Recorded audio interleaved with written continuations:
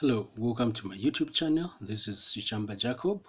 Alright, so uh, in our previous video, we found the distance along the great circle, and uh, for today, it will be the distance along the latitude. So this is the latitude, and they have said we find the distance between K and uh, M, somewhere here from K to M.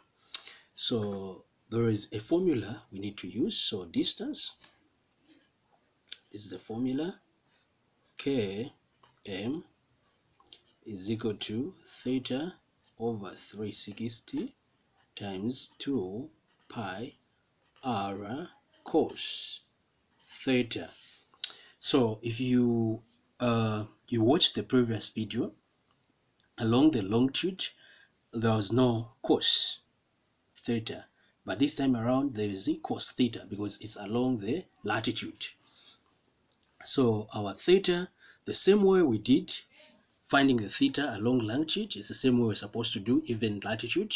So for latitude, from here to here, you check the longitudes which are cutting this latitude where the distance is happening. So here it's 60 degrees and here it's what? Eh? Uh, 55 degrees east.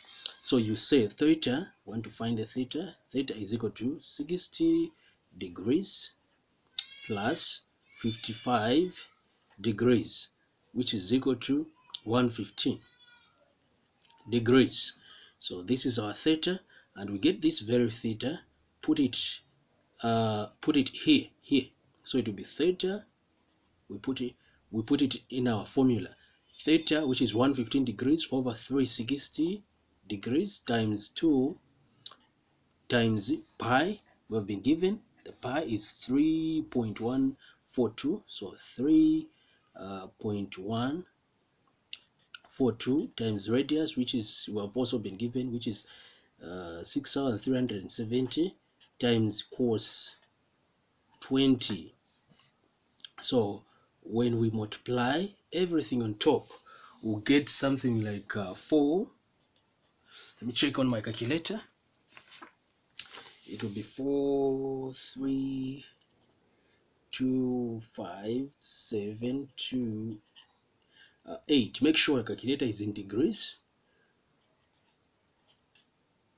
This is answer over 360 and our final answer will be let me write it down here over here here. Our final answer will be uh, 1201.5.1 I mean 91271 kilometers. So if you want, you can write it in uh, in, in, uh, in three significant figures, and it will look like this.